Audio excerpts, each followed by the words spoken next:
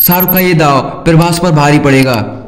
शाहरुख खान की फ़िल्म डंकी 22 दिसंबर को रिलीज़ हो रही है। इस दिन प्रभास की सार रिलीज़ होने वाली है। इस साल का सबसे बड़ा क्लेश माना जा रहा है। ऐसे में दोनों फ़िल्मों के मेकर्स ज़ोर लगा रहे हैं। डंकी की टीम हाल ही में एनिमल के प्रोड्यूसर से मिली थी, क्योंकि एनिमल और सालार को एक ही कंपनी डिस्ट्रीब्यूट कर रही है। मीटिंग काफ़ी सकारात्मक रही।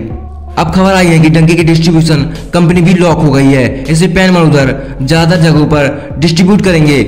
इसी ने जवान को भी रिलीज़ किया था। बॉलीवुड हंगामा ने एक रिपोर्ट छापी है। इसमें बताया गया, पैन उधर डंकी के वितरक के रूप में फ़िल्म से जुड़े हैं। जवान की ऐतिहासिक सफलता के बाद डंकी को पूरे देश में व्यापक रूप से रिलीज़ करेंगे।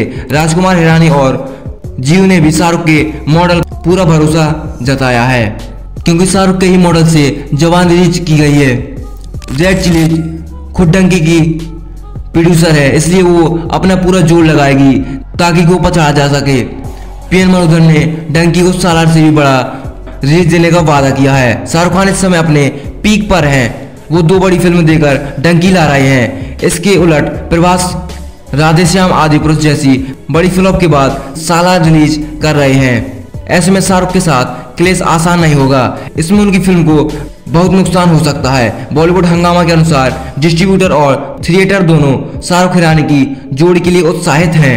यही सालार की टीम भी से ज़्यादा स्क्रीन पाने का प्रयास करेंगी। दरअसल सारा का डिस्ट्रीब्यूशन अनिल थरानी की ए ए फिल्म्स कर रही है। मूवी सिर्फ़ हिंदी पट्टी, यही रणबीर कपूर की फ़िल्म एनिमल का भी डिस्ट्रीब्यूटर है। एनिमल एक दिसंबर को रिलीज़ होगी। डंकी के मेकर्स को ये चिंता थी कि कहीं ऐसा ना हो जाए कि थिएटर से ए फ़िल्म साठ गांठ कर ले। और उनसे ऐसा कह दे सिनेमाघरों को एनिमल तभी अपने यहाँ चलाने को मिलेगी, जब वो डंकी की जगह सालार चले। यानी कि सालार तभी, रणबीर कपूर की एनिमल भी दिखाने को मिलेगी। पीछे से कई ऐसी बातें होती हैं, इसलिए डंकी मेकर्स की चिंता जायज़ है। डंकी को शाहरुख खान की कंपनी रेड चिल्लीज एंटरटेन ने प्रोड्यूस किया है। इसलिए इसके आधिकारिक एनिमल के निर्माताओं के पास पहुँचे। रेड चिल्लीज के अधिकारियों ने एनिमल के मेकर ये पक्का करने की गुजारिश की है। की है कि थिएटर्स को परेशान न किया जाए।